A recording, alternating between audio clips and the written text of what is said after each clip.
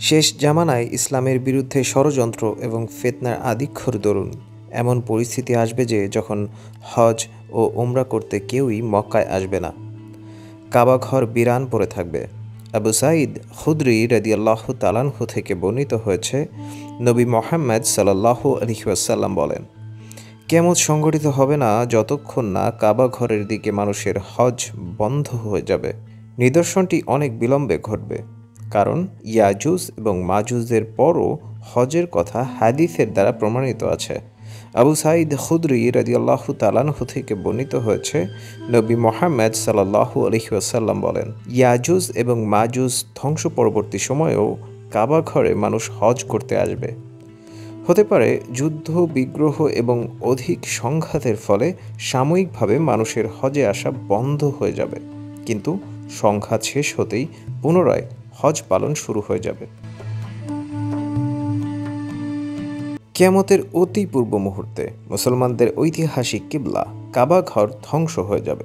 শুনে আশ্চর্য হচ্ছেন, আমিও যখন কোরআন এবং হাদিস থেকে এই বিষয়ে জানলাম, আমিও রীতিমতো অবাক হয়েছিলাম। জিসু আই কাতাইন, সরু নলা বিশিষ্ট একজন হাবসি কাবা ঘরকে খণ্ড খণ্ড করে ভেঙে দেবে। ভেতরে সব সৌন্দর্য বের করে নিয়ে যাবে। রসুল মোহাম্মদ সাল্লাহ আলহিহাসাল্লাম বলেন হাবসিদেরকে আগে ভাগেই তোমরা কিছু করতে যেও না।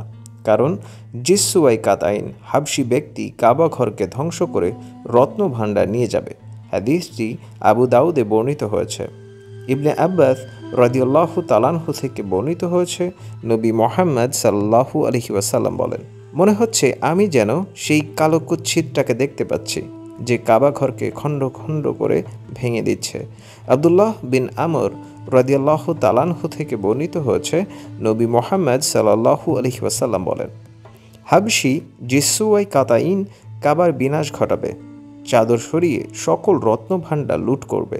মনে হচ্ছে আমি যেন সেই কেশহীন শীর্ণ কুচ্ছিরটাকে দেখতে পাচ্ছি, যে কুঠার এবং বেলচা দিয়ে পাথর ভেঙে দিচ্ছে। এখন প্রশ্ন আসতে পারে, মক্কা নগরীকে আল্লাহ নিরাপদ বলে ঘোষণা করেছেন।